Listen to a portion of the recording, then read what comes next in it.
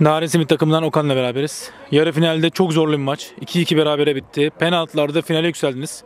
Finalde de rakibiniz İttifak PK. Yorumlarınızı alabilir miyiz? Öncelikle rakibe tebrik ederim. Güzel maç oldu. Sesim kısıldı biraz sevindim. Kusura bakmayın. Biz önceden burada penaltılarda kaybetmiştik. Sevinme hakkı onlarındı. Son gülen iyi güler. Şimdi biz penaltılarda kazandık. En başta dedim mekanın sahibi geri geldi. Biz bu turnuvayı bu kupayı alacağız. Antalya'ya biz gideceğiz. Bütün takımlara başarılar diliyorum.